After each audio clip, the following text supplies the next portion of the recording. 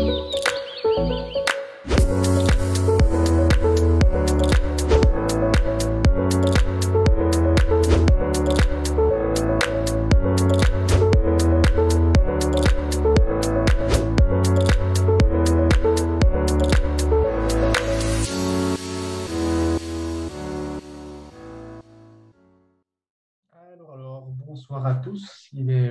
20h05, donc on va pouvoir euh, commencer le webinaire de ce soir. Euh, j'espère que la petite musique d'attente euh, vous arrange bien. En tout cas, moi, c'est ce que j'ai écouté toute la journée au cabinet, donc ça me va. donc moi, je m'appelle Julien Degrave. je suis un des administrateurs de la SBL Team Physio qui organise des formations en Belgique et plus particulièrement à Bruxelles et qui organise aussi pour l'instant certains webinaires gratuitement euh, et donc ce soir, le webinaire, ce sera autour des techniques de relâchement euh, myofacial. Donc je vous propose de passer euh, directement au, petit, au plan de la présentation. mais avant ça, évidemment, vu que ce n'était pas dans l'ordre.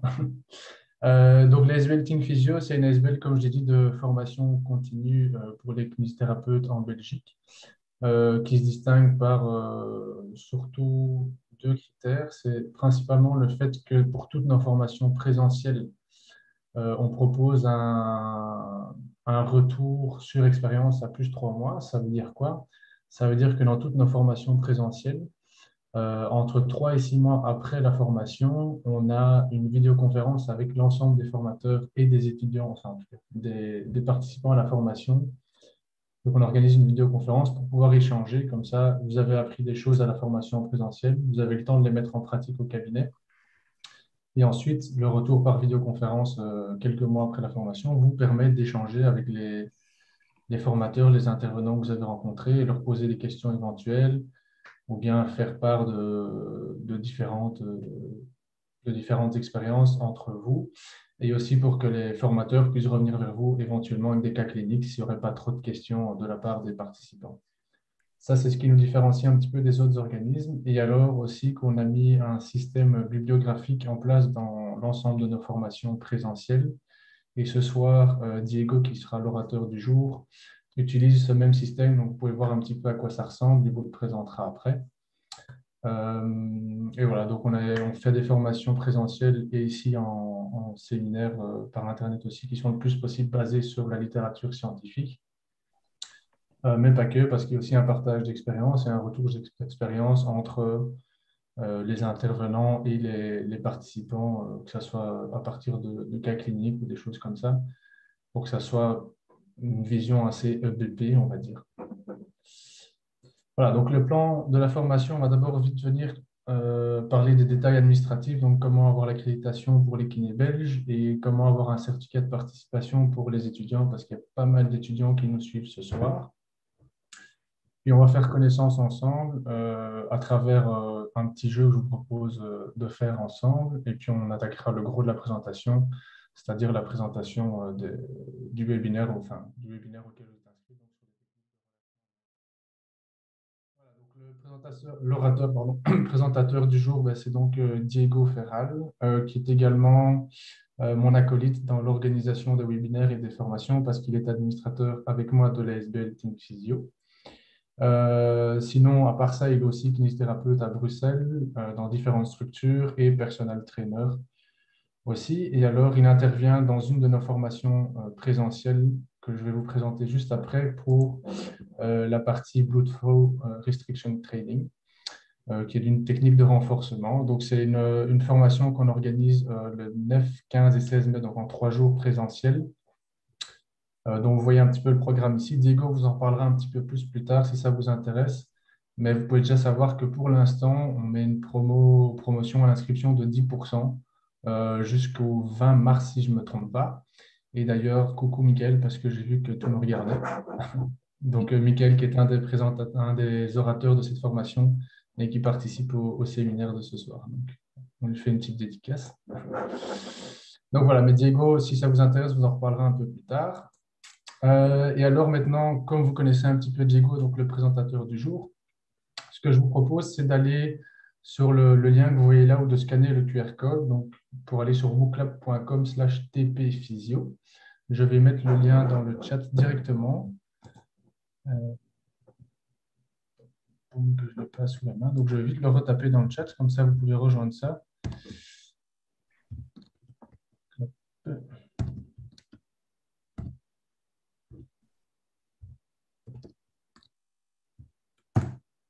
Voilà, je vois, vous voyez en bas de, la présentation 19, on voit les gens qui se connectent.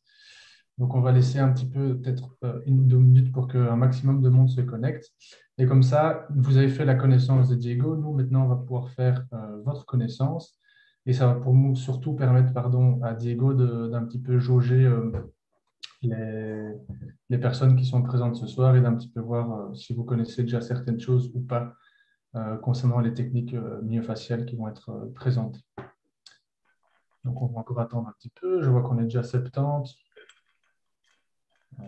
ça, ça, continue à monter, donc j'attends encore 30 euh, secondes et puis je lance euh, la première question. Bon, là, ça a l'air de stagner à 80. On va quand même déjà lancer. Si vous voulez rejoindre, donc le lien est toujours dans le chat. Et je vais également le mettre dans le chat euh, sur YouTube parce que ça, je n'ai pas fait. Il faut gérer les deux en même temps. Hop. Voilà, parfait. Mais je vais lancer donc la première question. Donc, vous savez que Diego vient de Bruxelles et donc nous, on aimerait bien un petit peu savoir d'où vous venez en Belgique pour les kinés qui nous suivent sur Zoom, principalement, voilà, parfait, plein de Bruxelles, de Lille, etc. Je sais qu'il y, y a beaucoup de Français, des Tunisiens, des Luxembourgeois qui nous suivent. Si vous venez de l'étranger, voilà, mettez ça comme ça s'affiche là, en dehors de la Belgique. Du coup, on sait un petit peu euh, d'où vous venez et on sait un petit peu juger tout ça.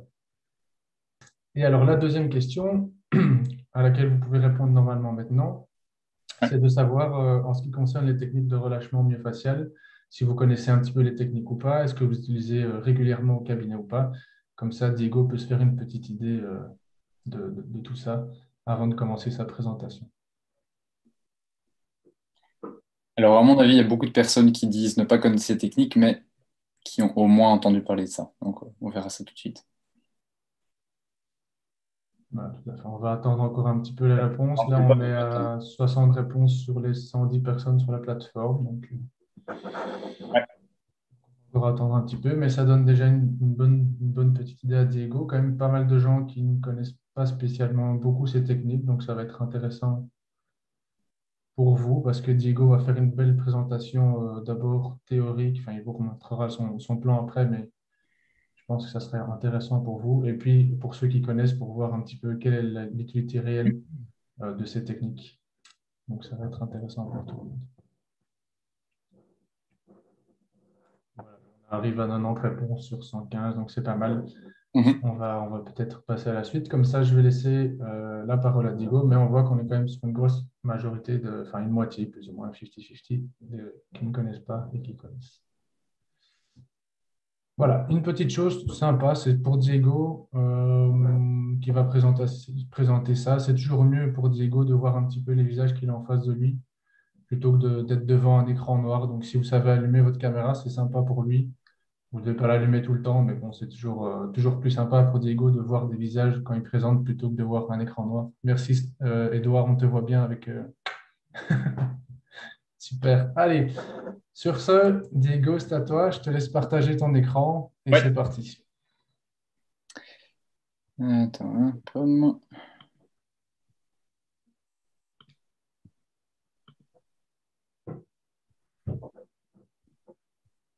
Alors, est-ce qu'on voit bien mon écran?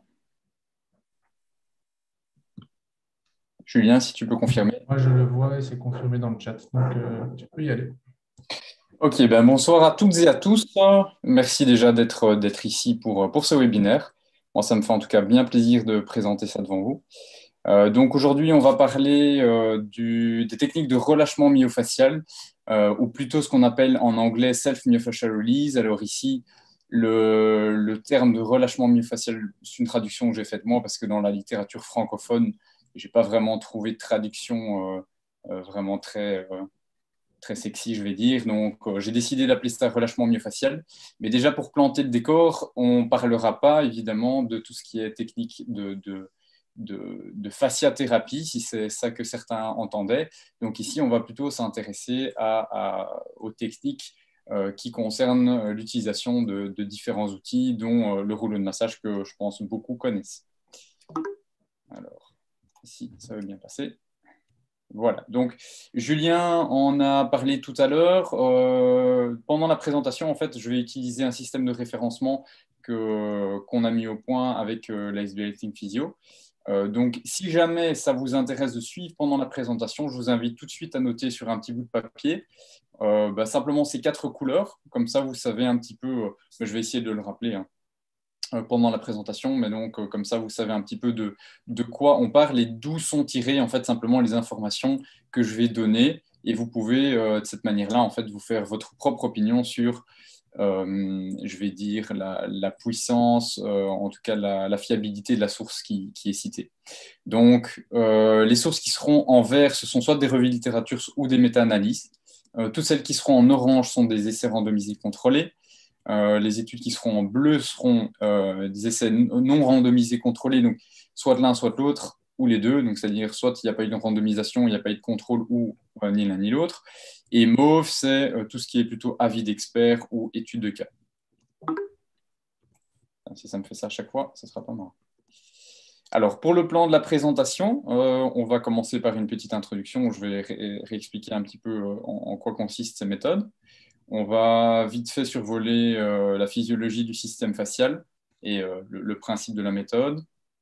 Et ensuite, on va tout de suite enchaîner avec bah, simplement ce qu'on retrouve dans la littérature, par rapport à ces techniques-là et euh, bah, quelle, utilité on peut, on peut en, faire. Et puis, on essaiera de voir ensemble quelques applications euh, cliniques, que ce soit euh, dans le milieu je vais dire, de la kinésithérapie ou, ou, le milieu de la prise en charge du sportif ou, du fitness. Et on terminera par quelques petites conclusions. Alors, je vais peut-être juste mettre ma caméra là-bas. OK. Donc, pour ce qui est des techniques de relâchement myofascial, euh, comme je le dis, donc, ici, on va euh, s'intéresser à tout ce qui est self-myofascial release. Donc, comme je le disais, ce n'est pas des techniques de fasciathérapie. Donc, ça n'a rien de manuel. C'est uniquement les techniques qui vont utiliser des outils externes, comme euh, des rouleaux, des balles de tennis, des balles de lacrosse, des sticks, et éventuellement aussi tout ce qui est pistolet de massage, même si c'est initialement pas vraiment décrit dans les techniques de self-myofascial release, mais je pense que fondamentalement, les principes sont quand même relativement similaires. Et donc, ces techniques, ce sont des techniques de traitement autonome des fascias. on verra pourquoi des fascias euh, ou du tissu myofascial et on verra si bah, simplement ce terme a euh, vraiment un sens. Alors, effectivement, bah, ces techniques se sont popularisées dans le milieu du sport et du fitness euh, et maintenant de la kinésithérapie depuis une grosse décennie. Bah, évidemment, comme c'est dans le milieu du fitness, bah, ce sont des arguments qui sont plutôt euh, de type euh, marketing, et donc on va vous euh, décrire de nombreux bénéfices qui ne sont pas forcément étayés par la littérature. et effectivement, ces outils se sont popularisés parce qu'ils sont faciles d'utilisation, faciles de transport. Il y a peu de contre-indications, donc je veux dire, je n'ai pas connaissance d'études qui parlent vraiment des contre-indications de ces, de ces, méthodes, mais par contre, on peut facilement imaginer que bah, tout ce qui est euh, les réflexes de manière générale, hein, euh, troubles cutanés, euh, infections, traumas récents, etc. Bon, je pense qu'il y a des contre-indications assez, assez claires. mais sinon, il y a peu de contre-indications et effectivement, il y a différentes formes. Donc, je vous montrerai tout de suite une photo.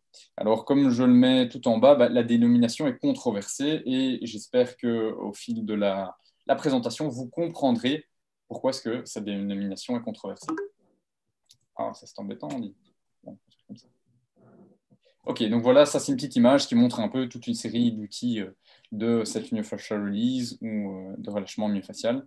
Donc vous avez euh, des rouleaux de toutes formes qui sont soit lisses, soit avec du relief, vous avez des bâtons de massage, vous avez des balles de tennis, vous avez bah, de baseball, etc. donc tous ces outils sont, peuvent être utilisés pour travailler des zones en particulier. Alors, comment est utilisé en pratique Donc, quand on voit des gens utiliser, comment est-ce qu'ils l'utilisent? Bah, Ce sont euh, ils utilisent des outils en fait pour effectuer des pressions qui sont plus ou moins appuyées sur une zone à travailler. Donc, typiquement, en général, c'est un groupe musculaire ou, un fascia, ça dépend un peu de, qui vous avez en face de vous. Euh, et donc, on fait des allers-retours en fait euh, qui est de plus ou moins grande amplitude. Certains utilisent ça pour faire des points statiques, un peu type trigger point ou tender points, ou éventuellement des torsions avec des étirements, etc. Moi, je me demande si ça a bien un sens de faire tout ça, mais voilà. Donc, euh, euh, typiquement, ce qu'on voit le plus classique, c'est les gens qui se roulent sur euh, le foam roller pendant ou après leur séance de fitness ou après leur séance de sport. Alors, le système facial, initialement, lorsqu'on parlait de fascia, on parlait des larges épaississements conjonctifs qui sont assez bien décrits dans tout ce qui est euh, atlas d'anatomie. Euh, mais actuellement, la nomenclature tend plutôt à parler de l'ensemble simplement des tissus conjonctifs, qui soient plus ou moins denses ou plus ou moins réguliers. Donc ici, c'est un, schéma qui vient simplement d'un article de Schlepp et Hall, qui est quand même une sommité dans tout ce qui est étude du système facial, qui a notamment, si je ne me trompe pas, écrit le livre Anatomical Trains, donc qui, décrit un peu toute une série de, méridiens euh, euh, type fascia, etc. Donc voilà. Euh, et donc on voit ici effectivement que bah, les fascias peuvent être plus ou moins denses, plus ou moins réguliers, et on peut observer bah, que ici dans ces nouvelles classifications, on a tout ce qui est ligaments, tendons, aponévrose, etc., qui sont compris également dedans. Donc on ne parle pas uniquement des grands épaississements type fascia thoracolombaire, pour citer le plus connu, mais donc tous les tissus conjonctifs. Alors, le système facial, donc effectivement, est constitué de structures conjonctives qui sont organisées en réseau 3D, euh, euh, un peu comme une, toile d'araignée, donc euh, ce qu'on voit sur le schéma ici. effectivement, ce système facial bah, enveloppe l'ensemble des organes du corps. Il est assez richement innervé, essentiellement par le système nerveux autonome, et vascularisé. Il a un rôle de soutien et de proprioception. Donc, effectivement, il y a des études qui montrent que il a une certaine capacité à transmettre les contraintes et également, bah, vu qu'il est soumis à des contraintes, il a également une capacité euh, d'adaptation face à ces contraintes, soit en épaississement, soit plutôt en, je vais dire, perte de, densité, euh, donc en fonction de ce qui, ce qui lui est euh, impliqué, je vais dire, soit excès ou contrainte ou manque de contrainte. Alors ici, ça c'est une explication qui était mise dans l'article de Schlepp, mais bon, je pense qu'il y a beaucoup de personnes qui tiennent un peu ce genre de, de, relations. Donc, dans le système facial, si ce système facial serait soumis à un trauma ou des microtraumatismes répétés, ou au contraire, s'il est soumis à une insuffisance de contrainte, bah, ça pourrait éventuellement engendrer des modifications structurelles que ce soit sous forme d'adhérence, sous forme d'épaississement, sous forme d'enraidissement, fragilisation, etc. Et donc, on a tendance à dire, bah, voilà, ça pourrait éventuellement avoir un certain impact sur une symptomatologie, parce que quand même relativement innervé, euh, ce tissu facial. Euh, mais donc, euh, point d'interrogation pour l'instant, parce qu'on sait effectivement que le corps, de manière générale, il y a beaucoup d'études qui commencent à le montrer maintenant, s'adapte. Donc, pas toujours si évident que ça de lier symptomatologie et euh, modification structurelle. Alors, le relâchement myofascial ou libération myofasciale. Euh, donc, effectivement, j'ai dit que c'était un terme qui était controversé. Il y a beaucoup d'auteurs qui parlent de cette controverse. Euh, pourquoi controversé Parce que c'est un terme qui sous-entend qu'effectivement, il y aurait une mobilisation des fascias par rapport aux structures euh, environnantes, pardon, euh, et donc éventuellement libération d'adhérence, euh, amélioration des, glissements, réorientation structurelle, un peu les mêmes, je veux dire, les mêmes arguments que dans la, fibrolyse diacutanée ou tout ce qui est donc technique de crochetage. Et donc, est-ce que c'est réellement le cas? Parce que si ce n'est pas le cas, donc s'il n'y a pas cet effet de libération d'adhérence, amélioration des glissements, etc., bah, pourquoi est-ce qu'on appellerait ça self-myofascial release, euh, libération myofasciale, etc. Donc on va voir ça tout de suite. Alors, la plupart, si pas tout ce que je dis dans la présentation, a été tiré de euh, ces deux revues de littérature-là. Donc, il faut savoir que, en fait, euh, j'ai fait un master en kiné du sport et mon mémoire portait en fait sur les techniques de relâchement myofascial. Et par conséquent, en fait, j'ai euh, simplement, j'avais lu toutes les études qui étaient dans ces revues de littérature-là avant que ces revues de littérature-là sortent. Euh, et donc, j'ai refait un tour de la littérature depuis pour voir s'il y avait effectivement des, études intéressantes euh, qui étaient parues depuis. Alors, il faut savoir que tout ce que je dis d'objectif, c'est-à-dire de prise de position sur l'utilité ou non, euh, est tiré en fait de ces revues de littérature. Donc, il y a des analyses statistiques qui ont été faites dans ces, dans ces études, et donc suffit pas de lire des études randomisées contrôlées qui montrent que pour dire qu'effectivement il y a un effet. Donc, je me suis appuyer sur leurs conclusions à eux qui sont faites sur des statistiques. Après, lorsque des études plus récentes, par exemple, n'étaient pas citées dans ces deux études, ben, je vous les ai quand même mises quand elles étaient intéressantes. Je ne vous ai pas mis toute la littérature quand même. Euh, mais donc voilà, vous irez simplement voir effectivement par le système de référencement euh, la, pertinence de ces sources et qu'est-ce ce qu'on peut en, en, déduire. Donc il y a deux, deux revues de littérature, comme je vous disais celle de Hughes et Hall et collègues en 2019 qui a étudié 22 euh, essais randomisés contrôlés avec 644 euh, sujets, euh, une population majoritairement masculine, une moyenne d'âge d'environ 25 ans avec des sujets plutôt actifs. Et donc il comparait tous les essais ici randomisés contrôlés qui, qui comparaient soit une intervention avec un rouleau de massage ou euh, les, bâtons de massage, donc les, bâtons qu'on tient à deux mains et qu'on fait rouler sur les, parties euh, qu'on veut travailler, à un groupe contrôle. Pour l'étude de Weevelove et collègues, bah, c'est également en 2019, ici 21 essais randomisés contrôlés pour 454 sujets. On n'a pas vraiment d'informations sur la gel sexe. Et pour ce qui est des comparaisons, c'est exactement identique. Donc voilà, vous aurez de toute façon toute la bibliographie enfin. Euh, donc si ça vous intéresse, vous pouvez aller. Alors, on va rentrer dans le vif du sujet et je vais vous proposer tout de suite de répondre à euh, une petite question. Donc, vous avez le WooClap que Julien, s'il veut bien mettre dans le chat.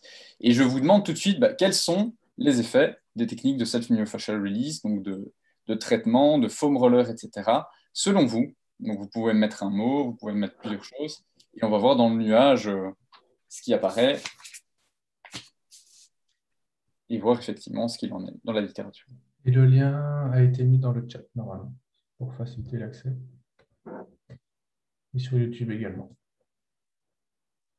Ne soyez pas euh, timide. Hein. Allez-y. Relâchement, ouais. Détente musculaire. Diminution des courbatures.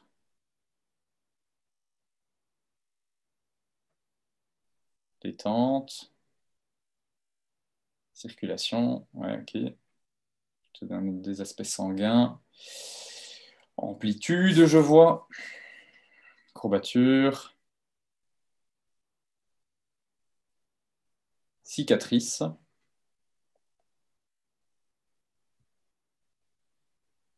C'est bien, ça commence à se construire. Donc je pense que globalement, c'est un peu toujours la même chose qui revient. Antalgie, inhibition.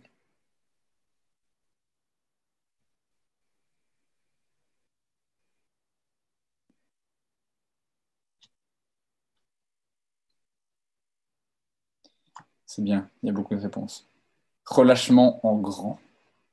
Je suppose que c'est euh, quand c'est plusieurs fois le même mot qui. Ok, bon, je pense qu'on va, va peut-être pas euh, attendre non plus 10 minutes. Hein. Il y a déjà beaucoup de mots qui ont été dits et beaucoup de choses intéressantes. Ok, bah, on va passer euh, à la suite, mais donc effectivement, là, on voit qu'il y a quand même pas mal euh, de, choses différentes qui ont été dites et beaucoup de choses qui vont être reprises dans la présentation, donc c'est très bien. Je vais avancer parce que sinon, on va rester ici pendant deux heures. Alors, on passe tout de suite dans le vif du sujet. Donc, quelles sont les connaissances actuelles sur ces techniques. Et on va commencer par la mobilité. J'ai vu qu'il y avait souplesse, j'ai vu qu'il y avait euh, mobilité dans, les mots. Donc voilà, c'est plutôt ce qui, porte sur, ce sujet. Alors j'ai divisé ça en deux parties, plutôt les effets à court terme et les effets à long terme. Donc pour ce qui est des effets à court terme, on observe en fait que ces techniques de relâchement myofascial, euh, bah, la majorité des études démontrent en fait des augmentations de mobilité immédiatement après une séance. Donc ici, ça c'est moi qui, ai indiqué euh, des variations qui augmentent entre 2,1 et 16,4% dans les études que j'ai pu lire. On observe aussi qu'il y a une relation dose-réponse, euh, de sorte que au plus vous travaillez longtemps sur les zones en question, au plus vous avez des résultats pour des volumes qui varient dans, dans les études entre 45 secondes et 20 minutes. Alors, d'un point de vue statistique, pour l'instant, on ne peut pas déduire de durée idéale actuellement, mais on, y reviendra plus, plus tard. Et ce qui est intéressant aussi de noter, c'est que l'augmentation de la mobilité perdure entre 10 à 30 minutes au maximum après l'intervention. Et alors ici, vous avez, je vous ai rajouté effectivement une étude de John et collègues en 2020, qui est donc un essai non randomisé contrôlé, non, non contrôlé, donc qui n'est pas un essai randomisé contrôlé, où il note en fait que chez des euh, joueurs de hockey sur glace, je crois, euh, il note en fait des augmentations de la mobilité jusque ici 60 minutes post-intervention en faisant deux fois une minute de foam roller sur les ischios jambiers, mais très faible groupe, donc que 10 sujets et pas de groupe contrôle. Donc, d'un point de vue euh, méthodologie, pas top comme étude, mais il y a d'autres études qui sont randomisées, contrôlées et qui montrent clairement qu'après 30 minutes, il n'y a pas d'augmentation. Voilà, cette étude montre et je pense c'est une des seules qui montre euh, des effets d'augmentation de la mobilité jusqu'à 60 minutes, ben, à retenir, on peut au moins se dire que certainement jusqu'à 30 minutes, peut-être un peu plus, mais voilà. De toute façon, ce sont des moyens. Alors, qu'est-ce qui permet d'expliquer ben, ces augmentations de la mobilité à court terme? Vous allez faire du foam roller, par exemple, vous mettez sur votre rouleau de massage, vous allez vous masser euh, les quadriceps, et puis euh, vous essayez de voir si vous avez gagné en mobilité en flexion de genoux. Alors, il y a quatre, euh, initialement quatre hypothèses qui étaient avancées. On va passer euh, sur l'une de chacune d'entre elles pour voir un petit peu les, fondements théoriques. Donc, il y a tout ce qui est effectivement libération des adhérences et réalignement des fibres de collagène. Trois points d'interrogation, on verra pourquoi. Tout ce qui est diminution de la sensibilité à la douleur, modification de l'activité du système nerveux, je dirais même du système nerveux autonome, et modification des propriétés mécaniques du tissu facial, myofacial, donc j'aurais pu mettre la 1 dans la 4, mais ici, la, 4, c'est vraiment plutôt en termes euh, physique pur, biomécanique pure, et ici, ça serait plutôt en, termes euh, morphologiques, histologiques, je veux dire. Alors, est-ce que la libération des adhérences et le réalignement des fibres de collagène, est-ce que c'est une hypothèse qui est plausible? Ben, En fait, il n'y a aucune évidence scientifique en, en, faveur de cette hypothèse. Euh, donc, il y a juste des auteurs qui évoquent que ça pourrait être ça, mais sans avoir en fait simplement d'arguments ou de, choses qui ont réellement été observées. Euh, et donc Schleppeal, déjà en 2003, disait que effectivement c'était très peu probable euh, de pouvoir briser des adhérences de fascia, car les forces nécessaires seraient euh, très importantes, beaucoup plus importantes que les, pressions qu'on pourrait exercer par exemple avec un, un, un foam roller. Alors, est-ce que c'est lié plutôt à une diminution de la sensibilité à la douleur? Alors, tout à fait, et c'est probablement euh, l'hypothèse la plus euh, probable, voire peut-être la seule, euh, parce qu'en fait, on observe effectivement que lorsqu'on fait des techniques de self-myofascial release, on a une diminution de la sensibilité à la douleur ou à l'étirement ici dans le cadre de la mobilité, mais on regroupe ça sous le terme douleur. Et ce qui est assez intéressant, en fait, c'est que notamment dans l'étude de Abodarda, qui est donc une étude randomisée contrôlée, et de Cavano, en fait, ils observent que le fait de faire du foam roller sur une zone, ou des, techniques de cette myofascial release sur une zone, euh, engendrait des augmentations de la mobilité, mais pas uniquement sur la zone qui a été travaillée. Donc, il y a, je ne sais plus si c'est une de, ces deux études-là, mais il y a par exemple des études qui ont été faites sur euh, le triceps sural, où euh, les, sujets devaient rouler euh, simplement sur, un mollet. et ils étudiaient en fait l'augmentation de la mobilité en flexion dorsale.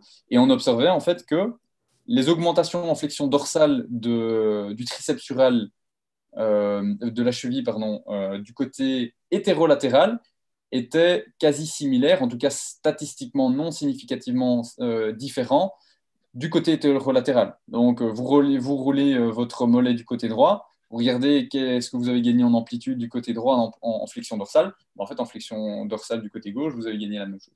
Donc, ça montre en fait que l'effet est probablement plus central. Et comment est-ce qu'on peut expliquer ça? Mais en fait, c'est par une activation du système qu'on appelle inhibiteur descendant ou contrôle inhibiteur diffus, qui prend naissance en fait dans la substance grise périaqueducale et qui mm, euh, implique en fait des neurotransmetteurs aminés et opiacés type euh, noradrénaline et euh, sérotonine pour tout ce qui est opiacé.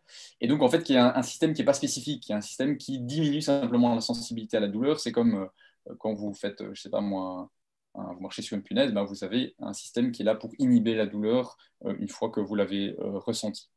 Donc Julien va mettre éventuellement dans le chat un lien si ça vous intéresse de vous renseigner sur ce contrôle inhibiteur diffus qui, selon moi, est quand même, pas que selon moi d'ailleurs, à la base de beaucoup de choses qu'on peut éventuellement voir et beaucoup de techniques, etc., qu'on peut voir en kiné, qu'on peut utiliser en kiné ou même en thérapie manuelle ou même en ostéopathie. Euh, et donc, euh, si ça vous intéresse, vous irez voir dans le chat euh, le petit lien que, que, Julien vous a mis. Alors, est-ce que c'est lié, donc cette augmentation de mobilité en déant les 30 minutes, est-ce que c'est lié à une modification de l'activité du système nerveux autonome? Alors, il y a des études qui montrent que oui, qu'il y a effectivement une diminution de la balance sympathico-vagale euh, en faveur plutôt du système euh, euh, parasympathique, donc, ce qui engendrerait un relâchement de la musculature lisse, parce qu'effectivement, il y a une musculature lisse qui est en lien avec ce système myofascial, et qu'on observerait ça également jusque 30 minutes post-utilisation de cette technique de self-myofascial release, donc ce qui a été mis en, évidence par l'ASTOVA. Euh, et probablement, en tout cas, ça, ce sont les hypothèses, par stimulation mécanique des récepteurs de type 3 et de type 4, euh, ce qui engendre une diminution d'activité du système nerveux sympathique et une augmentation des motoneurones gamma qui sont impliqués dans la sensibilité des fuseaux neuromusculaires notamment. On a bientôt fini pour la mobilité à court terme. Est-ce que c'est lié à des modifications des propriétés mécaniques du tissu? Euh, myofacial alors, il y a des études qui montrent que oui. Donc, on observe euh, dans, l'étude de Morales à Archo euh, qu'effectivement, il y a une diminution du module de Young. Donc, le module de Young, pour rappeler, c'est euh, une constante qui relie la contrainte à la déformation. et également une diminution de la rigidité qui a été observée dans deux études. Après, il y a Yoshimura et collègues qui n'observent pas de modification de la longueur du fascicule gastrocnémien médial, malgré une augmentation de la mobilité, ce qui est plutôt en faveur alors de l'hypothèse liée à la diminution de la sensibilité. Ce qui est un peu trompeur aussi dans le self-myofascial release, c'est le fait qu'on entend le tissu myofacial. Myo ou facial point d'interrogation. Et donc, c'est pour ça qu'il y en a qui vont étudier, les propriétés mécaniques du fascia, il y en a qui vont étudier les propriétés mécaniques plutôt de, des composantes musculaires. Donc, c'est aussi pas très clair à ce niveau-là. Euh, et donc, euh, voilà. Alors, comment est-ce qu'on pourrait expliquer les modifications mécaniques? Euh, Principalement, donc vous voyez la belle photo de ketchup pour ceux qui n'ont pas mangé en haut à droite. Désolé. Euh, donc, ça serait lié en fait essentiellement à une modification des propriétés tixotropiques euh, du tissu myofacial. J'ai mis des fascias, mais c'est plutôt du tissu myofacial quand il est agité. Donc, c'est comme le ketchup. Quand vous avez votre pot de ketchup qui vient de sortir euh, du frigo, bah, si vous ouvrez complètement le capuchon et que vous renversez la bouteille de ketchup, bah, il va avoir un peu du mal à couler. Il n'aura pas très envie de couler. Pour fermer le bouchon, vous agitez bien et ensuite, bah, vous allez avoir en fait un ketchup qui est beaucoup plus liquide. Donc, c'est cet état en fait de, euh, comme ils appellent en, anglais, un peu style gel, donc euh, gel-like euh, state, qui, engendre en fait lorsque la structure est mécaniquement agitée, on a en fait une augmentation de la fluidité de cette structure et donc ce qui fait en sorte bah, que probablement on, pourrait éventuellement avoir moins de résistance à l'étirement. Les autres hypothèses concernent plutôt l'augmentation de la température intrafaciale quand on fait plutôt euh, ces, effets de roulement ou d'augmentation du flux sanguin. Par contre, même les auteurs qui évoquent ces hypothèses pensent que euh, ces modifications des propriétés mécaniques du tissu myofacial ne sont probablement pas prépondérantes dans les augmentations de la mobilité, parce qu'il ne suffit pas d'observer des modifications, il faut quand même qu'elles soient suffisamment importantes pour que cliniquement ça ait une implication. Donc, qu'est-ce qu'on peut retenir? Probablement les libérations des adhérences, etc. Probablement pas le cas. En tout cas, pour l'instant, il n'y a pas d'évidence qui montre que. Euh, certainement, et peut-être, et certainement de manière prépondérante, une diminution de la sensibilité à l'étirement, à la douleur. Et secondairement, c'est possible également qu'il y ait, en tout cas c'est ce qui est montré, une modification du système nerveux autonome, de l'activité du système nerveux autonome et une modification des propriétés mécaniques euh, des fascias. Et ce que j'ai oublié de dire, si je peux juste revenir à la dia précédente, c'est que donc, en fait, cette modification du gel-like state est très très courte. Donc, c'est quelques minutes. C'est comme si vous laissez votre ketchup sur votre assiette pendant 5 minutes, bah, au final, il va revenir dans son état initial. Alors maintenant, sur le long terme, si je m'amuse à faire du foam roller tous les jours, est-ce qu'après 4 semaines, je vais avoir des augmentations de mobilité Plutôt controversées? Donc il y a certaines études qui montrent que oui, il y en a d'autres qui montrent que non. Donc pour l'instant, bah, pas suffisamment de preuves en faveur d'un effet du self-myofascial release sur la mobilité à long terme. Donc on ne sait pas vraiment se prononcer. Après, il y a des études qui montrent des augmentations de mobilité, clairement. On va passer maintenant sur euh, la douleur. Si je parle trop vite, vous me le dites dans le chat. Euh, si vous avez des questions, vous n'hésitez pas à poser. Donc euh, Julien, tu peux faire le modérateur si, si, je parle trop vite ou pas, parce que moi je ne regarde pas le chat maintenant. Donc par rapport à la douleur, on observe en fait qu'il y a une diminution de la sensibilité à la douleur qui est euh, observable jusqu'à 5 minutes après intervention, donc après euh, l'utilisation de cette technique. Dans, euh, ici, je tiens à préciser que c'est moi qui fais cette, cette conclusion-là. Pourquoi? Parce que dans l'étude de Wivelove et, collègues, en fait, il parlait jusqu'à 30 minutes. par contre, l'étude, euh, la seule étude en fait qui montrait une, amélioration jusque 30 minutes, si je ne me trompe pas, j'espère que je ne dis pas de bêtises, c'est euh, celle de McDonald's en 2014. Euh, et en fait, comment est-ce qu'ils estimaient cette diminution de la douleur? Bah, Simplement, ils ont demandé au sujet de ce foam relais. Et enfin, je pense qu'ils prenaient sur une, courte, une courte durée, ils demandaient sur une échelle visuelle analogique leur sensation de douleur pendant qu'il faisait du, rouleau de massage. Donc autant vous dire que c'est extrêmement subjectif parce que déjà de 1, la pression qui est exercée sur le rouleau de massage bah, n'est pas standardisée. Donc euh, si ça se trouve, c'est juste lié au fait que les participants poussaient plus euh, pour certains par rapport à d'autres. Et euh, deux, est-ce que j'ai perdu le fil de mes idées? Bon, c'est pas grave. En tout cas, la, pression n'était pas standardisée et donc c'est clairement euh, subjectif. Donc, euh, c'est pour ça que je n'ai pas inclus cette, cette étude-là dans, euh, dans, dans, ces conclusions-là. Et les autres études, en fait, on observait des diminutions de la douleur jusqu'à 5 minutes. Je ne reviens pas sur mon idée, tant pis, c'est envolé. Alors, on observe également qu'il y a une relation dose-réponse, donc de sorte que pour de plus grandes durées, vous avez plus de résultats. Ici, même chose, hein, volume de, de, travail, de de roulage, je veux dire, euh, entre 45 secondes et 20 minutes. Et par contre, ici, statistiquement, on observe qu'il faudrait au moins 45 secondes pour observer des effets et que, idéalement, donc pour avoir vraiment des effets qui sont euh, bien plus présents, plus de 90 secondes pour avoir une diminution marquée de la douleur. Ici, on a certains qui pratiquent tout ce qui est technique de trigger point, par exemple, euh, les 90 secondes, ça dépend parfois c'est 60 secondes, c'est quelque chose qu'on retrouve. Donc euh, on voit qu'il y a quand même des similitudes. Alors, euh, on n'observe par contre pas d'effet en chronique. Donc ici, si vous faites du foam roller tous les jours, bah, vous n'aurez pas spécialement moins mal à, la zone que vous voulez travailler.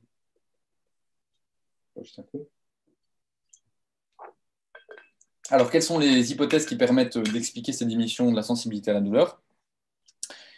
Donc clairement, en fait, le mécanisme commun aux augmentations de la mobilité, donc euh, c'est le circuit inhibiteur descendant euh, qu'on a présenté tout de suite. Après, vous avez tout ce qui est gate control, hein, donc euh, l'inhibition des fibres nociceptives par les fibres de plus gros calibre à alpha et à bêta, qui véhiculent des informations plutôt type touché. Euh, et puis, vous avez tout ce qui est inhibition de trigger point, qui est aussi évoqué par certains auteurs.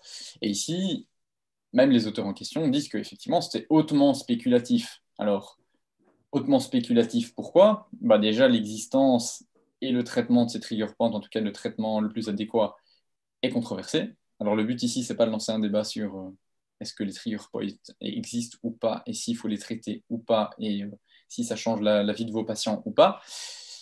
Mais si vous voulez vous faire effectivement une idée euh, un peu plus claire et en tout cas de ce qui est euh, relaté dans la littérature, ce que je vous invite à faire, c'est consulter le lien que Julien, s'il veut bien, va vous mettre dans le chat et qui est en fait un blog d'un de euh, nos intervenants, qui est donc Anthony Alimi, et qui en fait va, a fait un billet justement sur tout ce qui est l'existence et le traitement des trigger points.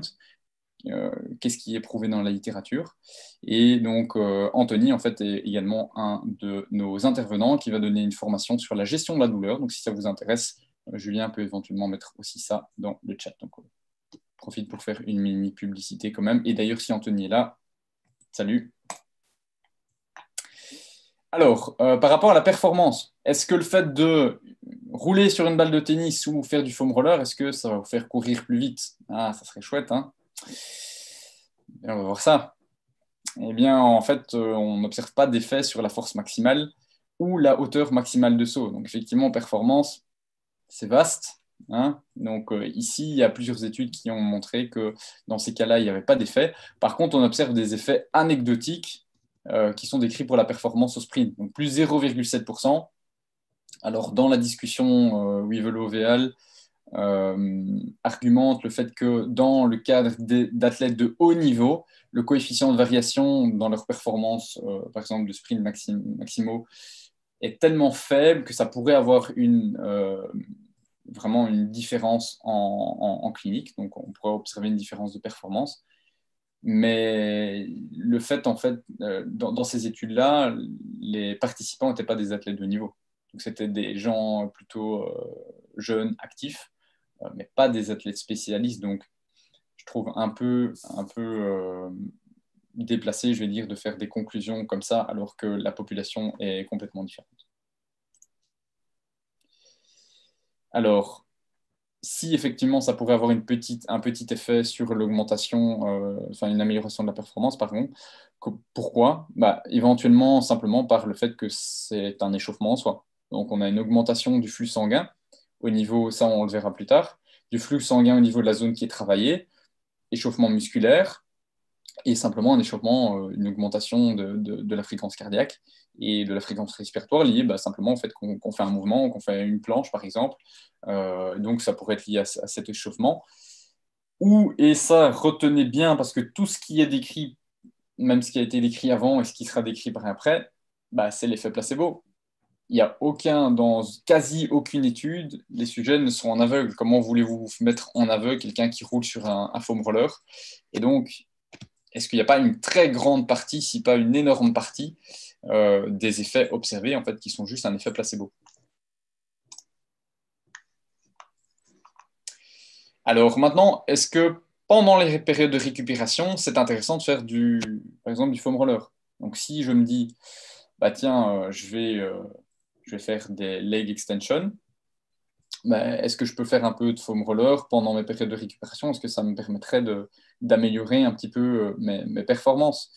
Alors ici, l'étude de Montero et collègues en 2017, ils se sont dit, même ils ont été plus loin, ils se sont dit, bah, tiens, peut-être qu'en stimulant, euh, en inhibant entre guillemets le muscle antagoniste, c'est-à-dire les ischio-jambiers ici dans une euh, leg extension, bah, peut-être qu'on diminuerait ce phénomène d'inhibition réciproque et donc on pourrait avoir une facilitation de l'activation du quadriceps. Eh bien, pas du tout. En fait, ce qu'ils ont observé simplement, c'est que bah, le, nombre de répétitions maximum qu'ils arrivent à faire bah, diminuait. Bah, simplement, ce n'est pas compliqué à comprendre. Quand vous faites du rouleau de massage, j'ai mon rouleau qui doit être dans un coin, bah oui, derrière mes pieds. Si vous faites du rouleau de massage au niveau de vos ischio-jambiers, ben, pour maintenir la position, vous devez vous mettre en planche en fait vers l'arrière. Donc, vous devez maintenir en fait une extension de genou. Donc, en fait, ça engendre juste une fatigue supplémentaire euh, qui engendre en fait une diminution. Donc, ici, à garder en tête, hein, mais voilà, visiblement, ça semble pas être euh, très utile. Donc, effectivement, on peut conclure que pour la performance, ben, il n'y a pas d'effet ni négatif ni positif. Si on effectue ça avant l'effort, peut-être un petit effet d'échauffement, donc euh, pourquoi pas. Euh, et effectivement, le fait de faire une planche en soi, si vous faites ça pendant les, périodes de récupération euh, au sein même de l'effort, bah, ça génère quand même une fatigue supplémentaire. Donc, ici, on n'est pas vraiment dans le domaine de la kinésithérapie, quoique si vous faites de la kinésithérapie du sport, mais voilà, c'est quand même, euh, je, je, le mentionne quand même. Alors par rapport à la récupération, qu'est-ce que le fait de terminer ma petite séance de, sprint ou de VMA sur euh, ma piste d'athlétisme, est-ce que j'ai intérêt à faire un peu de foam roller pour avoir moins de courbatures et pouvoir remonter sur mon vélo le lendemain, par exemple? Alors, on va voir un peu en termes de récupération, on va passer sur quatre paramètres. Les DOMS, donc les douleurs musculaires d'apparition retardée, la mobilité, les performances physiques et les paramètres plutôt type cardiovasculaire.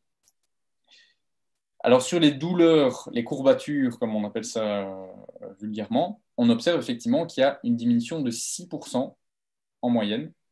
Euh, ça a été étudié soit par EVA, soit pression euh, via un algorithme de pression, lorsqu'on effectue justement du foam roller ou du, peu importe d'autres techniques de self-facial release immédiatement après l'effort. Et on observe que ça se maintient jusqu'à 48 heures, ça c'est certain, et il y a des études qui vont jusqu'à 72 heures. Euh, on observe également qu'il y a une diminution de la sensibilité du membre qui n'a pas été foam rollé. Et donc, potentiellement, c'est de nouveau quelque chose qui est plutôt central. Est-ce que maintenant, ça permet d'avoir des meilleures amplitudes articulaires? Euh, J'ai fait 50 euh, squats sautés comme un dingue à ma séance de personal training. Est-ce que si je fais du foam roller après, ben, euh, je pourrais quand même aller étirer un peu plus mon quadriceps.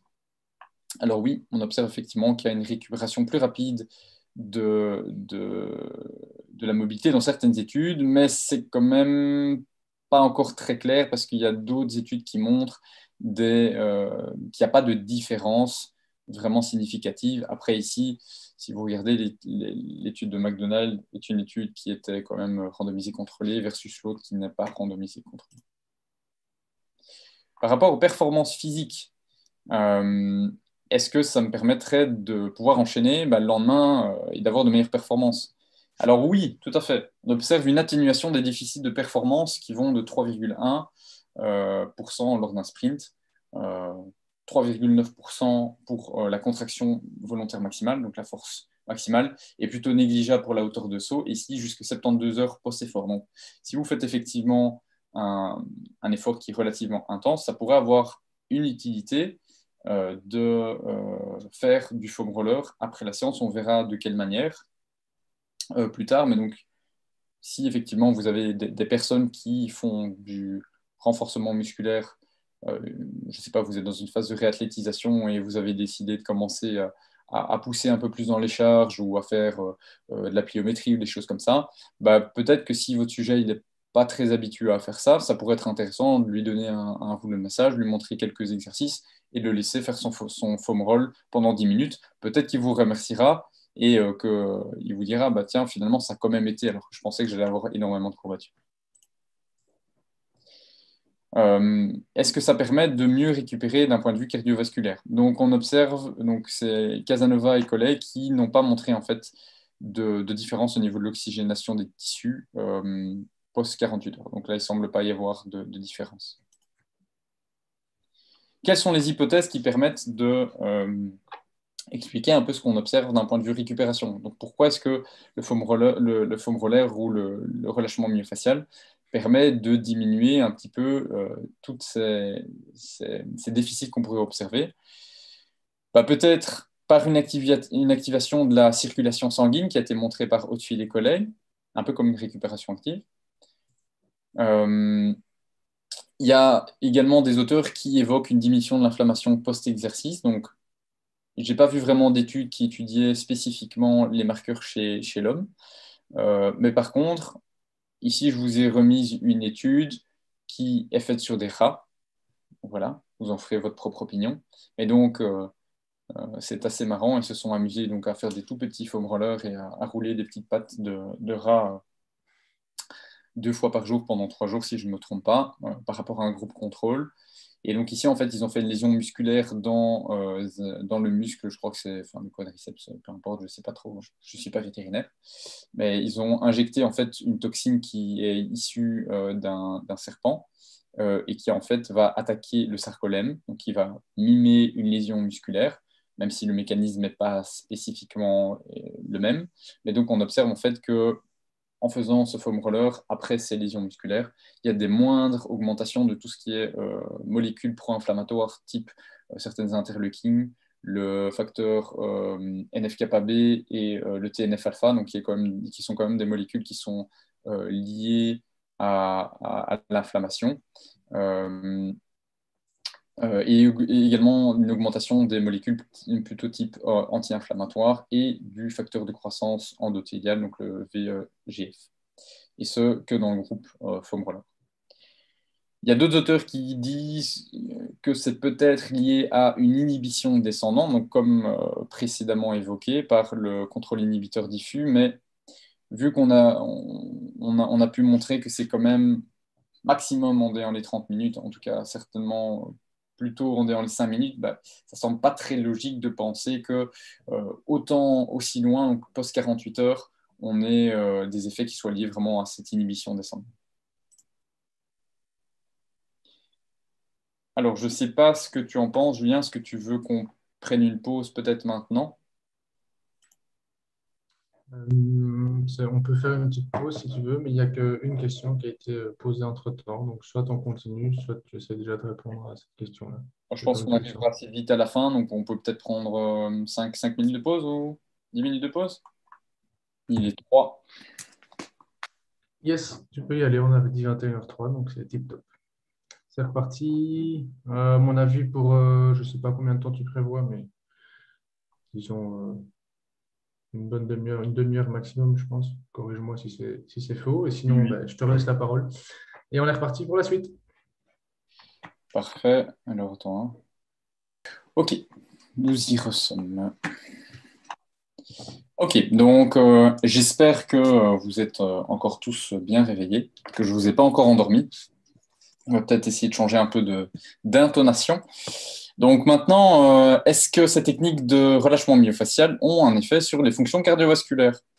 Alors, il y a plusieurs études qui ont étudié euh, cette question-là. Donc, on observe en fait que Okamoto et collègues montrent qu'il y a une augmentation des concentrations plasmatiques en euh, NO et une diminution de la vitesse d'onde de pouls, donc qui est un marqueur de la rigidité artérielle, en déant les 30 minutes après l'intervention et pas chez des sujets contrôle. Hotfield et, collègues augmentent également une augmentation du flux sanguin, également en les 30 euh, minutes après intervention. Euh, ici, ils l'ont fait sur la bande tibiale. Et Lastova et Al montrent euh, qu'il y a une diminution de la balance sympathico-vagale, mais on avait déjà expliqué ça précédemment. Et ça engendrait également en fait, une diminution de la tension artérielle systolique et diastolique, et ce jusqu'à 30 minutes post-intervention, et pas chez, des, euh, pas chez des, un, groupe contrôle.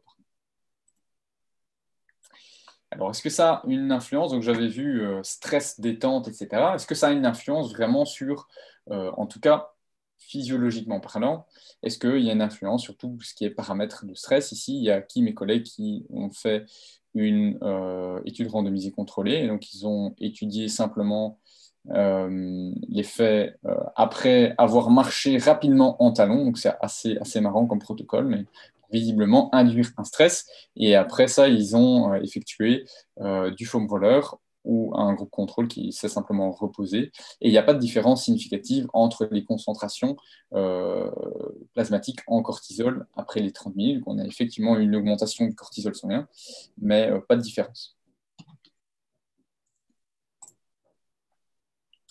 Par rapport à la proprioception, alors, euh, il y a deux études de basse qualité que j'ai retrouvées dans la littérature. Donc, euh, euh, l'étude de Sung Hak et collègues en 2016 et l'étude de Erin et Al en 2019, qui sont franchement des études de basse qualité et les protocoles sont très mal décrits et ils ne sont pas très clairs. Donc, c'est pour ça qu'ici, j'ai mis que c'était pas randomisé, pas contrôlé et que le protocole était très douteux. Donc, euh, montre qu'il y a une amélioration du repositionnement articulaire en flexion de hanche. Et euh, Erinéal montre euh, la même chose euh, au niveau du genou et de la hanche en déant les 20 minutes. Mais vu les protocoles, je ne suis pas persuadé. Et d'ailleurs, on n'en parle pas en fait dans les revues de littérature que j'ai citées. Donc ça, c'est moi qui ai été regardé dans la littérature. Je pense qu'on ne peut pas vraiment se prononcer là-dessus. Je ne vois pas tellement par quel mécanisme on pourrait expliquer une amélioration du repositionnement articulaire après avoir fait du foam roller. Après, s'il y en a certains qui, voient euh, une, explication plausible, euh, pourquoi pas la mettre dans le chat. Alors, on arrive déjà effectivement à la fin, donc effectivement, on sera en déant les 30 minutes. Euh, on va passer sur les limitations de cette revue de littérature et de tout ce que j'ai abordé précédemment. Mais il y a énormément de protocoles différents. Quelques études qui ont repris des protocoles qui avaient été précédemment faits. Je pense euh, à McDonald's qui a été euh, un des premiers à faire quand même des études randomisées contrôlées. Donc, plusieurs ont repris leur protocole mais les populations sont souvent différentes, les outils utilisés sont souvent différents, euh, plusieurs types de rouleaux de massage différents, c'est parfois des bâtons de massage, parfois des balles, parfois des sticks, etc. Les durées de traitement sont euh, souvent également différentes. Les pressions, souvent pas standardisées. Donc, comment est-ce qu'on peut faire des, des, euh, je vais dire, des conclusions sur... Ben, on ne sait pas en fait à, quel point est-ce que les, sujets euh, mettre du poids simplement sur les rouleaux de massage. Et il y a des études effectivement qui montrent qu'il y a quand même des variations assez importantes et également en fonction de la zone qu'on travaille. Par exemple, euh, si on fait du foam roller sur les ischios jambiers, ben, on, observe en fait que la pression varie en fonction du moment où on est. Donc, typiquement, quand on est plus proximal, on a beaucoup plus de poids qui est appliqué. Donc, voilà, c'est parfois un peu difficile à standardiser. Et les zones cibles également, et la manière dont on mesure tout ce qui est euh, présenté précédemment, varie énormément en fonction des études, et donc faire des conclusions, c'est quand même assez difficile. Ce que j'ai évoqué précédemment, c'est quasi impossible, voire impossible d'évincer l'effet placebo. Donc les sujets sont quasi jamais en aveugle, en fait. Donc, est-ce qu'il n'y a pas une grosse partie de tout ce qu'on a parlé euh, précédemment? Est-ce que, en fait, tout ce que je dis, c'est pas juste de l'effet placebo? Ou est-ce qu'il n'y a pas une grosse partie qui est de l'effet placebo? Autre chose, c'est qu'il y a très peu d'études qui parlent du membre supérieur. Il y en a quelques-unes, mais il y en a beaucoup moins que euh, les études qui portent sur le membre, euh, membre inférieur. Donc, voilà. Est-ce qu'on peut vraiment conclure tout ça pour le membre supérieur? Parce que c'est énormément des études plutôt sur le membre inférieur. Alors maintenant, on va essayer de voir bah, comment est-ce qu'on peut utiliser ces méthodes? Est-ce que bah, pour nous, ça pourrait éventuellement avoir une, implication, une, utilité? Alors, par rapport au type d'outil, est-ce que ça change vraiment quelque chose? Ben, Il y a déjà Curran et collègues qui ont montré en fait que euh, la pression qui était exercée par un, rouleau euh, où la mousse était dense sur un rouleau en plastique, donc vous avez déjà peut-être vu, euh, c'est par exemple le cas, mais ici je pense que sur les trois en fait c'était le cas. Donc vous avez effectivement un, cylindre intérieur qui est fait de plastique dur et vous avez la mousse dense qui est autour. Mais si je vous montre par exemple le suivant, voilà, ça c'est euh, plutôt type un peu frite de piscine. Mais donc que ce modèle-là par rapport à l'autre modèle euh, engendre beaucoup plus de pression. Il y a Will et collègues qui montrent qu'il y a quand même certaines études qui ont standardisé leur pression sur plateforme de force, et ils observent en fait que c'est des études qui ont standardisé les pressions, euh, ou alors c'était des, des, robots en fait qui exerçaient une certaine pression, un pourcentage du poids du corps. Donc vous aviez des, robots qui exerçaient une pression et puis ils faisaient le massage automatiquement. Donc là c'était complètement passif. Et on observe qu'il y a plus de résultats en ce qui concerne la douleur et l'augmentation de mobilité pour plus de pression. Il y a Ashita, mes collègues ici en 2020, qui ont montré que pour trois types, par exemple, de rouleaux de massage, ben, euh, il y avait une euh, supériorité euh, des euh, rouleaux qui étaient euh, surfacés, je vais dire, donc soit celui de gauche qui est multi-étagé, donc où il y a un relief, soit le grillagé, donc le, trigger point là, sur la droite, et que donc en fait il y a plus d'effets sur la, la, mobilité et la douleur par rapport à un rouleau qui serait seulement lisse. Alors ici, c'est pas une étude randomisée contrôlée. Et aussi, j'ai mis ça pourquoi? Parce que si on regarde simplement les groupes, à nouveau, pour ça qu'il faut quand même regarder un peu les protocoles avant de, dire, d'affirmer des choses, ben, on voit que dans les groupes, ben, les moyennes de poids sont pas exactement les mêmes. J'ai envie de dire même la case d'après que j'ai coupée, c'était le BMI. Donc, euh, si la personne est un peu plus compacte et plus, plus corpulente, bah, ça met peut-être plus de poids sur le rouleau de massage. Voilà. Est-ce que c'est vraiment très, euh, très facile à, évaluer? Euh, Et à nouveau, ici, je pense que les, euh, les... non, la, douleur, c'était par algomètre de pression, donc ça, c'était relativement bien fait. Mais donc voilà, ça pourrait éventuellement avoir un impact d'utiliser plutôt l'un ou l'autre rouleau de massage. En tout cas, clairement, ce qui semble être le plus efficace, c'est les rouleaux où il y a plus de pression, à savoir les plus denses. Typiquement, ceux qui font le plus mal. Voilà, si ça peut vous donner une indication. Alors ici, petit boucle pour voir si vous êtes toujours réveillé. Avec tout ce qu'on a vu, dans quelle situation ou dans quel but est-ce que pour vous, ça serait pertinent d'utiliser ces techniques de foam roller, de balles de tennis, euh, euh, de, bah, de release de manière générale? Donc vous pouvez retourner sur vos euh, et simplement, je vais montrer les résultats, ça serait mieux. Voilà, et dans quelle situation est-ce que pour vous ça a un intérêt? Plusieurs réponses possibles évidemment. On va voir un petit peu si vous avez retenu quelque chose. le, le, lien WooClap est remis dans le chat pour ceux qui se seraient euh, déconnectés du lien. Et sinon, c'est le deuxième lien WooClap qui était donné, donc le, le slash j a a y j g si vous avez les deux encore ouverts.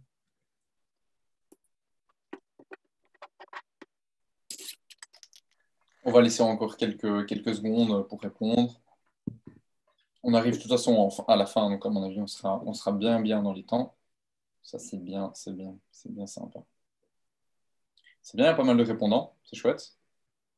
N'hésitez pas à répondre, on ne voit pas qui a répondu. Donc... Euh. On voit le nombre 46 euh, sur euh, un peu plus de 100 personnes connectées sur Google euh, je suppose que tu vas le faire, Diego, mais essaye de refaire un rapide résumé sur base de réponses qui seront données là. Oui, tout à fait. Parce que les questions seront reprises. Enfin, certaines questions sont dans le questionnaire pour avoir votre accréditation. Ce n'est pas un questionnaire pour, euh, pour essayer de mettre, euh, de mettre tout le monde en échec. Donc, c'est très, très simple. Ah, mais bon, répétez bien le résumé, comme ça, vous pouvez répondre en ayant au moins 3 sur 5 qu'on puisse donner les points à tout le monde. Ce serait dommage de ne pas pouvoir vous les donner. Euh, donc voilà. Écoutez bien surtout cette partie-ci si vous voulez avoir vos points. ok, donc effectivement, douleur, 90% des répondants qui pensent que la douleur, euh, euh, effectivement, que ça a un effet, un effet sur la douleur, donc clairement. En termes d'échauffement, bah, comme expliqué tantôt, controversé. En tout cas, échauffement, oui, si votre but est de bouger un petit peu, mais est-ce que ça améliorerait vos performances, par exemple, si c'est ça qu'on sous-entend, non. Euh, par contre, il y a quand même une augmentation euh, cardiovasculaire, etc. Récupération post-effort, clairement. Après, euh, ça dépend pour quels paramètres. stress, ici, je vois qu'il y a cinq répondants. Donc, en termes de stress, clairement, ici, on a une étude qui a été présentée sur les taux de cortisol. Donc, c'est clair que le stress pourrait être lié à la douleur. Euh, donc, je pense qu'il y a effectivement euh, certaines personnes, si ça leur fait du bien, effectivement, de faire du foam roller ou, ce genre de technique-là, pourquoi pas. Euh, je pense qu'il faut systématiquement s'appuyer quand même sur les préférences aussi du patient. D'ailleurs, c'est le principe de, de l'evidence-based practice. Donc, pourquoi pas. Après, pour l'instant, en termes de stress, on ne sait pas vraiment se prononcer. Souplesse euh, sur le long terme, il y a des études qui montrent que, mais pour l'instant, c'est plus point d'interrogation que oui ou non. Mobilité à court terme, clairement, plutôt probablement par des effets euh, type euh, système nerveux. proprioception, point d'interrogation, moi j'aurais plutôt tendance à dire non. performance, probablement pas non plus. Donc effectivement, on voit très bien que ici, vous avez très bien répondu. Bravo à vous. Euh, donc effectivement, ici, euh, probablement, euh, ces, quatre, ces quatre réponses-là sont les plus, les plus probables, les plus, les plus plausibles. Alors, qu'est-ce que je vous recommande personnellement pour ces techniques-là? Quand est-ce que vous pouvez les utiliser? Ben, Pour ce qui est phénomène douloureux, donc l'utilité va dépendre un peu de, aussi de ce que vous jugez, mais si le fait de faire du foam roller, vous avez apporté ça, essayé ça dans une séance pour faire un petit peu, rendre ça un peu fun, je pense que parfois il y a beaucoup de patients qui euh, manquent un peu de fun, manquent un peu de, de, diversité dans les séances et qui seraient peut-être plus compliants en, faisant des choses un peu plus fun. Mais si vous introduisez une fois cette méthode-là, vous voyez que la personne décrit Ah, bah tiens, c'est vrai, j'ai fait ça, ouf, ça travaille bien, et puis je sens que j'ai ah, bah, quand même moins mal, et si ça lui permet de faire des exercices par la suite, par exemple, ben, pourquoi pas? Très bien. Si vous, à la maison, euh, vous avez des tensions, nuque, le fait de vous faire un peu euh, travailler à la balle de tennis, vous vous sentez mieux après, pourquoi pas? Donc, Dans le cadre de douleur, ça pourrait être indiqué. Après, ça dépend du... Le message que vous mettez derrière est peut-être important aussi et s'appuyer aussi sur le ressenti du patient. Si le fait de faire des... techniques de self-myofascial release, c'est juste atroce pour le patient et qu'il n'en retire aucun bénéfice après, quelle est l'utilité Ça, je vous laisse à vous, à votre, votre propre jugement. Post-effort, ça permettrait quand même de diminuer les DOMS et éventuellement d'accélérer la, récupération des performances physiques. Et si on fait ça pré-effort, il n'y a pas d'effet sur la performance. Mais par contre, on a quand même une augmentation de la, mobilité en déant les 30 ou peut-être, on ne sait pas trop encore, 60 minutes si vous avez besoin d'une augmentation de mobilité. Donc ça, euh, je ne vais pas revenir sur le débat des étirements statiques avant, l'effort, mais voilà, si c'est quelque chose qui est utile pour vous, pourquoi pas. Alors, quels sont les protocoles? Pour la sensibilité à la douleur, là, effectivement, statistiquement, on montre que l'idéal, c'est faire plus de 90 secondes par zone. Alors, moi, ce que je vous conseille, c'est déjà pas rouler trop rapidement.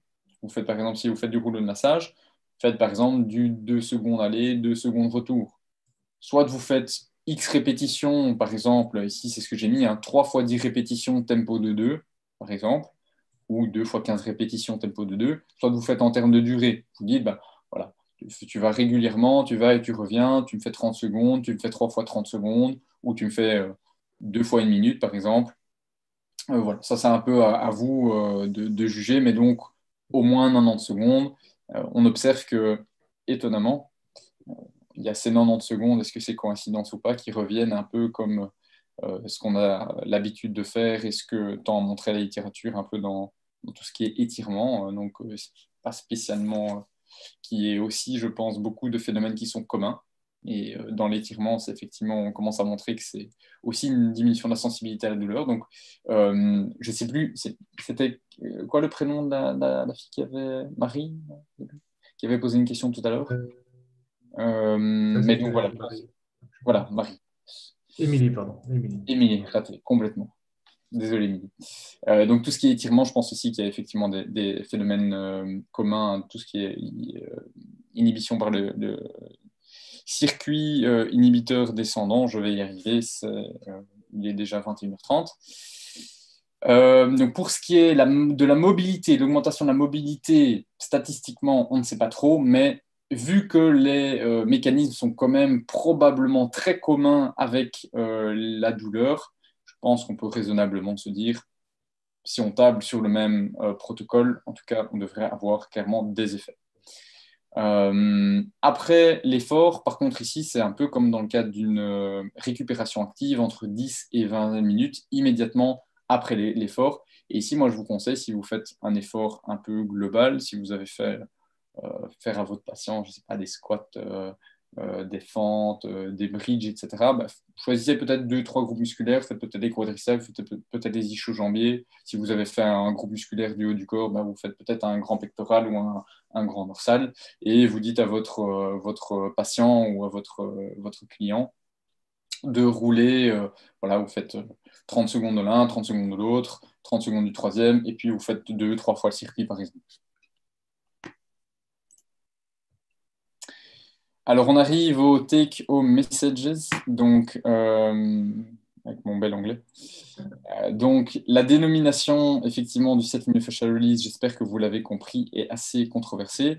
Euh, je le répète, dans le nom, on entend self, donc auto-relâchement myofascial release, donc relâchement myofacial les hypothèses actuelles ne tendent quand même pas à montrer que vraiment ça a une, une implication sur tout ce qui est adhérence, sur tout ce qui est relâchement euh, facial, donc peut-être même pas du tout facial.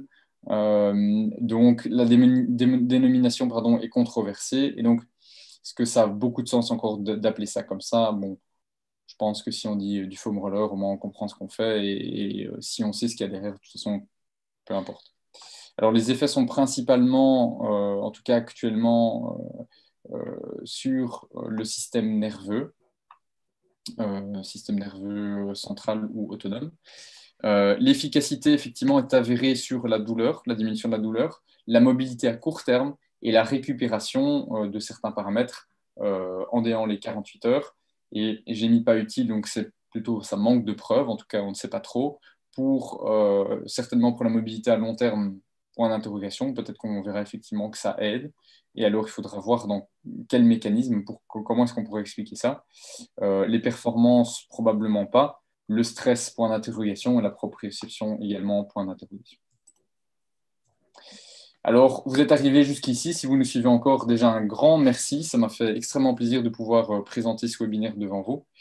Euh, n'oubliez pas de remplir le questionnaire si vous voulez avoir votre accréditation PQK. Donc, Julien va mettre le lien dans le chat euh, et sur YouTube aussi. Alors, euh, on profite aussi pour vous dire, donc, comme Julien l'a dit au départ, on a en ce moment 10% de promotion pour notre euh, prochaine formation euh, sur l'évaluation et le développement des qualités musculaires dans la pratique du kinésithérapeute. Donc, ça promet d'être une, formation vraiment, vraiment sympa avec des, orateurs de qualité. On a essayé de rendre ça vraiment le plus pertinent cliniquement et pas uniquement vous rabâcher de la physiologie euh, et de la théorie pour euh, vous rabâcher. Donc, on, souhaite vraiment axer ça outil pour le kiné. Euh, et s'il y en a certains de l'ULB qui s'interrogent et qui ont, déjà eu pas mal de, professeurs en commun, le contenu est complètement retravaillé pour la formation. Donc, moi, je viens moi-même de l'ULB. Et donc, voilà, si le but n'est pas de redonner ce qu'on pourrait avoir déjà à l'université, euh, et vous avez des techniques euh, vraiment intéressantes qui seront présentées, comme euh, le Blood Flow Restriction Training, que je présenterai avec Grégory Vervloed, donc le, kiné de la Ligue belge francophone de l'athlétisme. S'il nous regarde, salut Greg. Il y aura aussi Séverine Stragier qui présentera la méthode 3.7. Il y a Benjamin Pasquet qui expliquera un peu toutes les nouveautés qu'on a dans l'électrosimulation neuromotrice. Euh, et euh, Michael Cardinal qui est là, je sais bien, qui nous présentera tout ce qui est euh, méthode, je veux dire, conventionnelle de, développement des qualités musculaires. Donc ça promet d'être une, belle formation. Donc n'hésitez pas à regarder sur le site. Vous avez le code ici qui est noté, donc TP15 mai. donc voilà, si le webinaire vous a plu et que vous êtes intéressé de continuer un peu l'aventure avec nous, ça nous fera un très grand plaisir. Donc n'hésitez pas à vous inscrire Déjà, un grand merci. Euh, tu peux peut-être mettre tous les liens dans le chat, euh, Julien. Et alors, pour terminer sur euh, une petite note un, peu, un peu fun, voilà, donc deux petites images que je trouvais assez, marrantes. Et encore un grand merci pour votre participation. J'espère que ça vous a plu, que, l'exposé était suffisamment étoffé et pas trop.